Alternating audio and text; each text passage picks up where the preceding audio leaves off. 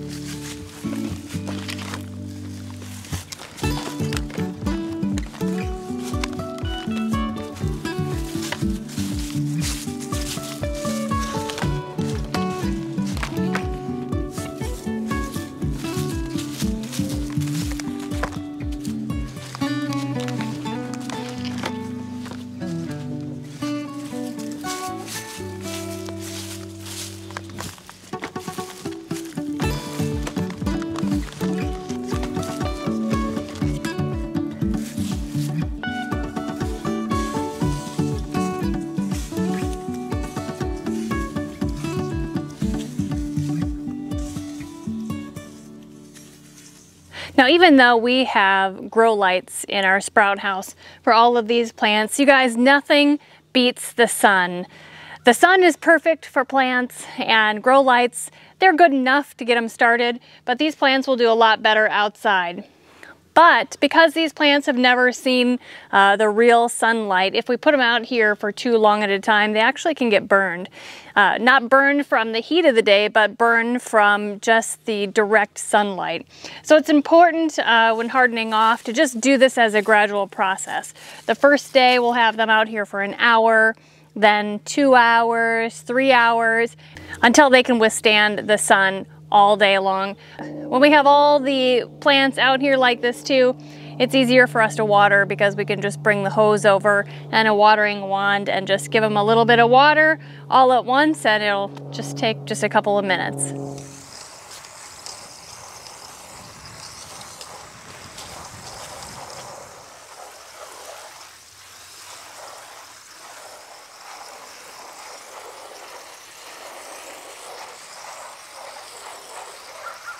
Well, these guys are all set to be out here for just a little bit.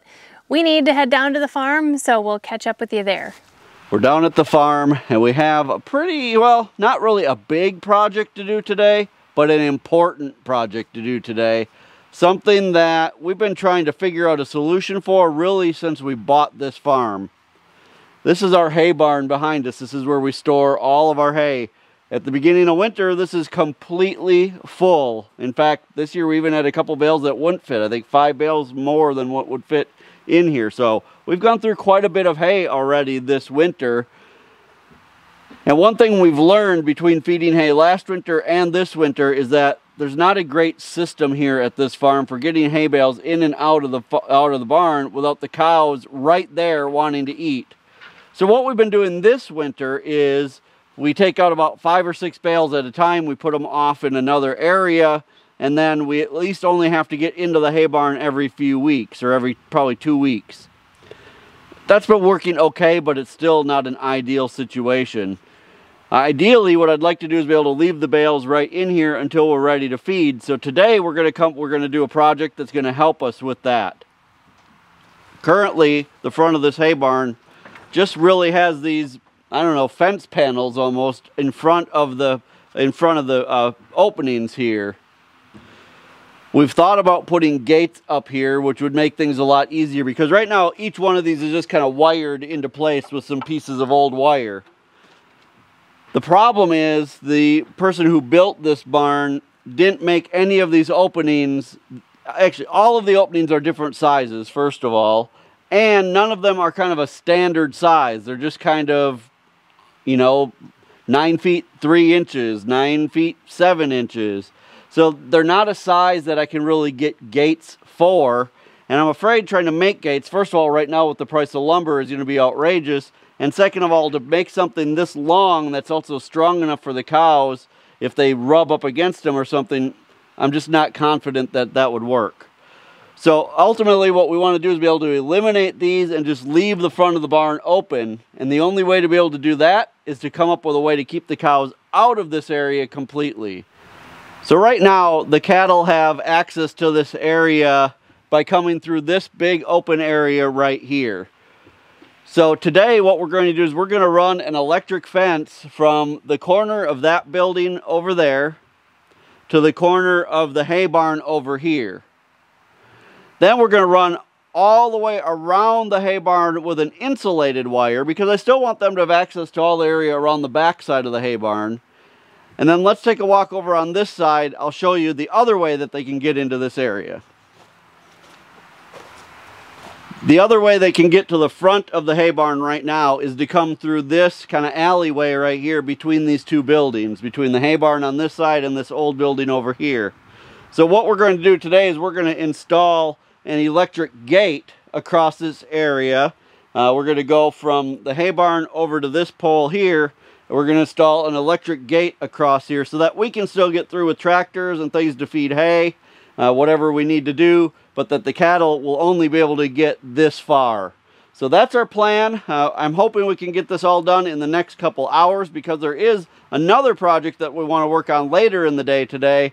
We're just going to have to see how the timing works out. So let's get started building this new electric fence. So our fence today we're going to be building out of electric poly braid. Uh, the stuff I really like is called uh, Super 9 poly braid from Powerflex. Powerflex is actually kind of a local company to us here. It's just about a half hour away from us. Uh, but you can order from them online. We're no way affiliated with them, but I do like them and I do like that they're a local company. So that's good. We can go right to their shop and pick up supplies as we need them. So we're going to be using the Polybraid 9 today, uh, which means there's nine strands of metal within the rope itself. We're also going to be using some of these uh, one inch fiberglass poles for our corners and our beginning and end. And we're going to be using half inch fiberglass poles for our line poles. So the first thing we're going to do is we're going to install one of these uh, close to the building where we want to start. And then we're going to run just a piece of string from there over to the corner of the hay barn so we can go in a nice straight line and try to make this look as good as we can. I think we're going to do two strands of the wire. I think that's all it's going to take to keep the cattle out. Uh, if there's a problem after that, we can always add a third strand, but I really don't think that's going to be necessary.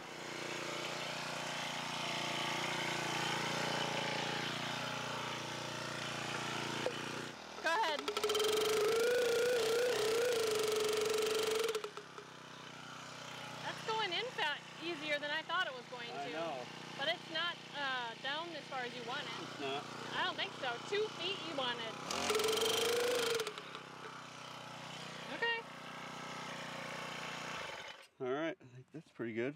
Yeah. Yeah, that did go in easier than I would have thought. Yeah. Okay.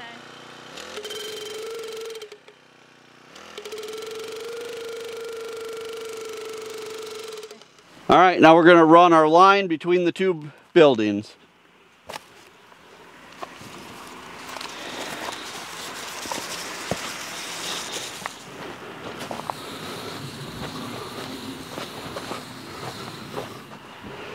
All right, on to putting in our line posts. Now for our line posts, again, we're using these uh, fiberglass poles. They're half inch poles. And when you buy a pack of these fiberglass poles, pretty much from any company, they're gonna come with a little thing like this that goes on the top. That's what you can use to actually hit so you, that you don't uh, hurt the top of the pole. For insulators, we're going to be using the same thing you've seen me use in other videos, which are these spring insulators. They just slide down over the pole and then you can adjust the height by pushing on the spring. So I'm going to put these, now these cows, this, these cattle in this area have never been exposed to electric wire that I know of. So uh, I'm going to put more poles than I probably normally would. I think I'm to go about every five big steps where normally I would probably go like every 10. But I want this to be a pretty good fence for them just in case they test it. So we're to go pound these poles in and then we'll start putting up our wire.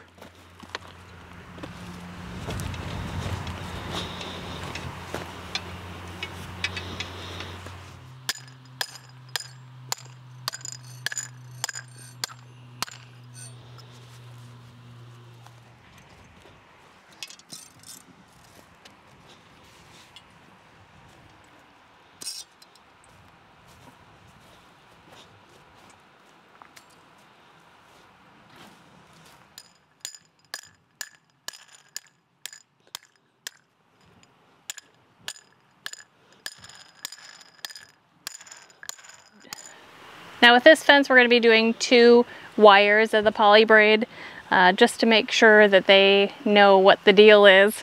We're going to put one of them at about um, 36 inches and one at about 18 inches or halfway down. We're not going to measure, we're just going to wing it.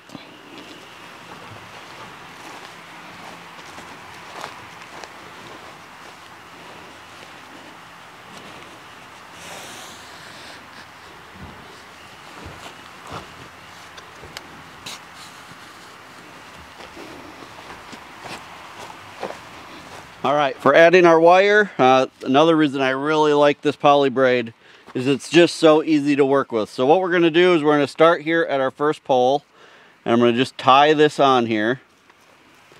I like to tie, I don't know what the name is for these knots. I call it a fishing knot. I don't know. I'm sure it's got a real name, but it's how I tie fishing hooks on. I like that knot because as you pull, it gets tighter and tighter. All right, so we got our first piece on. We'll put it at about 18 inches. We can adjust it later. Let's go to the first line pole and I'll show you how those insulators work. So here's our spring insulator on the pole. Basically, what all this does is you take your wire, you're gonna push it through like that, and then you're gonna turn this spring, and now that wire is locked between the pole and that insulator. That's why I really like these. It's just a really simple, fast way to do this. We're going to just go down the line and do this on all of the poles. And we'll get to the other end and I'll show you how we'll go back up and over.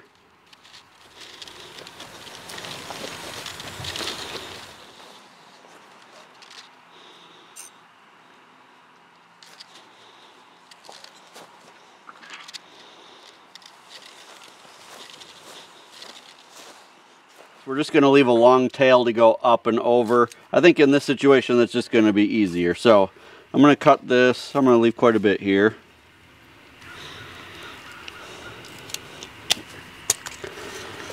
We're going to pull this tight.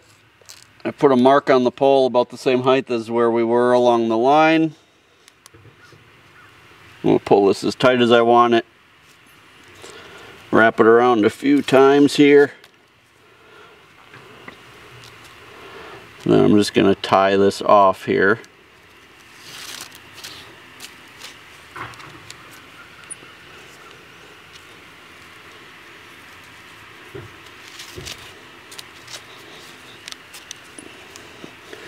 Then what I like to do is use a zip tie to just go around.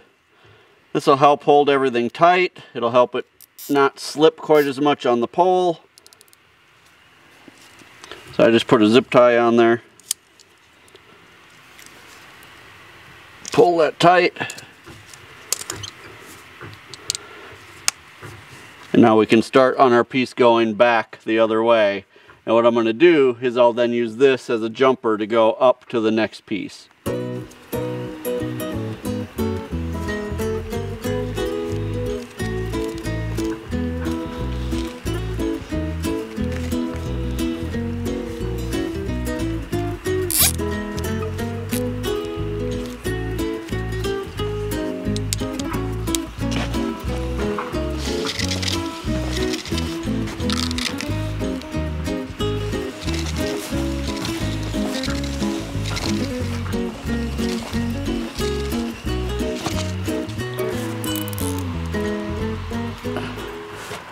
So that's the second strand up.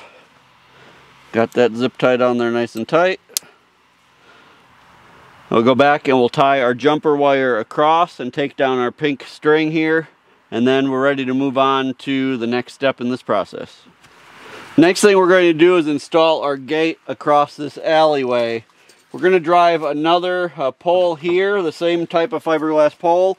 And then we're going to be using these gate, these electrified springs. Basically this will run from the pole over to the fence on the other side. This handle is just solid plastic, so it'll be insulated. So we don't want to electrify the fence on the other side. But these springs will go across. We're going to put up two of these. Not only is this electrified, but because it's so big, it'll be kind of a good um, physical barrier for the cows as well. They'll be able to see this and hopefully they'll stay away. All right, we're going to start by putting this pole in the ground.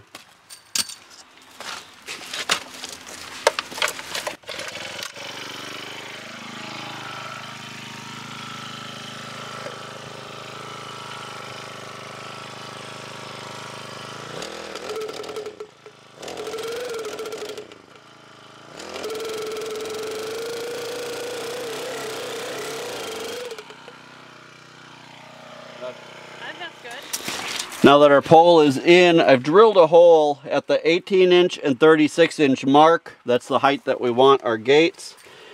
And I'm gonna just use some old pieces of scrap wire here, and that's what we're gonna use to put the gate onto the pole. So I'm gonna push these through.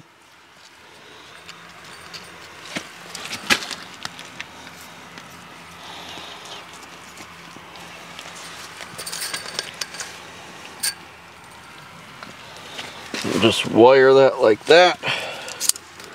Nothing fancy, that's for sure. It's one thing I like about electric fences. I feel like, you know, as long as you achieve the goal that it works, that's all you really need to be doing. All right, and we're just gonna do the same thing with this one down here on the bottom.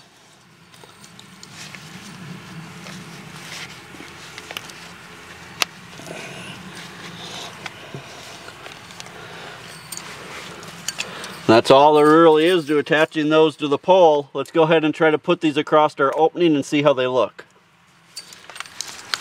Okay, let's try it out.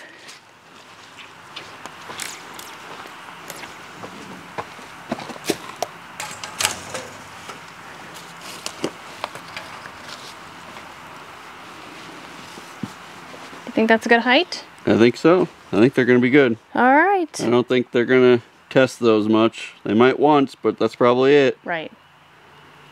The last thing that we need to do before we can actually hook power up to this fence is we need to run basically a jumper from this side of the building over to the other side. Typically jumpers that I've done have been short, but this is gonna be like 80 feet. So I bought a 100 foot roll of insulated wire. So we can run this along the side of the barn and along the back over to that other corner and this won't be electrified at all. This is just, almost looks like coax cable, but it's just a solid piece of wire on the inside. You can bury this, and I could go across the front of the barn and bury this underground, but there's much rain as we get and how it kind of settles here and riding on the tractor. I just don't really want to do that here, so I think it'll be better to run this along the outside of the barn. So we're going to start Basically, this end needs to attach to the fence over here, and then the other end of this needs to attach to those gates we just put up. So I'm going to start by, we're going to zip tie this in place here. And then we're just going to basically unroll this and attach to the barn as we go.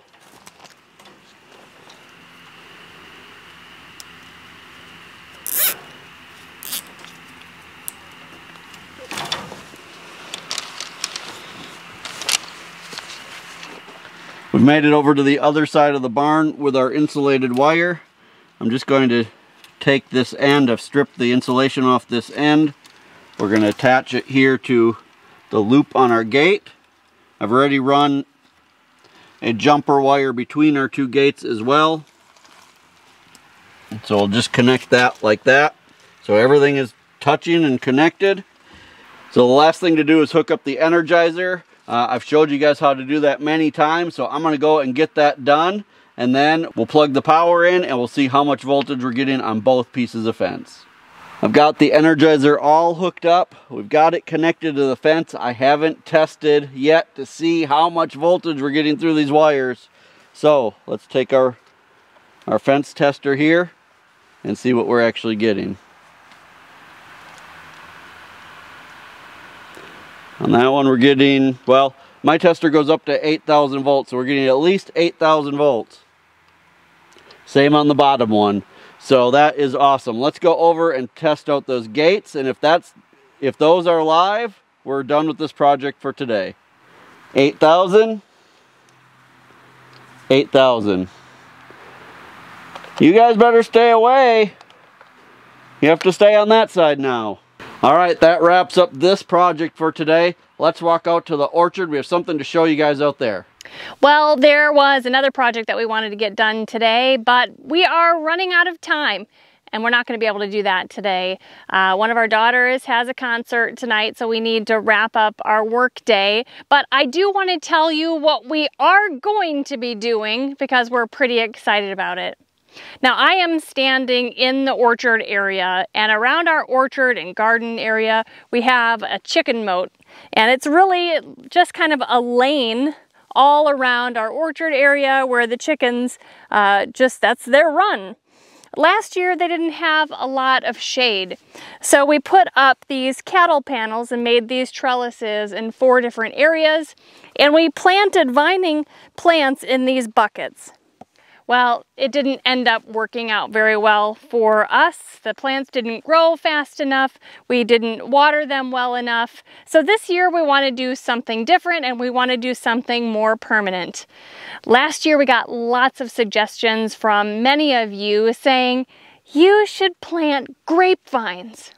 So this year we're planting grapevines. We're not going to be using the buckets. We're going to plant them right in the ground. We're going to be planting three different kinds of grapes. We're going to be planting four seedless Concord grapes, which we're really excited about. And we're gonna be planting two each of these uh, Reliance grapes and the Niagara grapes. It will be fun because each one of these arches is going to have a, you know, a separate variety. So we'll have Concord grapes on two of them actually, and then one the Reliance and one the Niagara. It's gonna be really fun to see them grow and over the, you know, course of the next couple of years produce grapes. It's gonna be a good time and it's going to hopefully provide some really great shade for the chickens. Well, you guys, thank you so much for spending the day with us today on the farm. Uh, we're so happy that you've decided to join us. If you're enjoying our videos, we sure hope that you'll hit that subscribe button before you go. Don't forget that is always the absolute best way that you can help us here on the homestead is just by sharing our videos with others that you think will like them. Until next time, thank you so much for stopping by our homestead. Take care and God bless. God bless.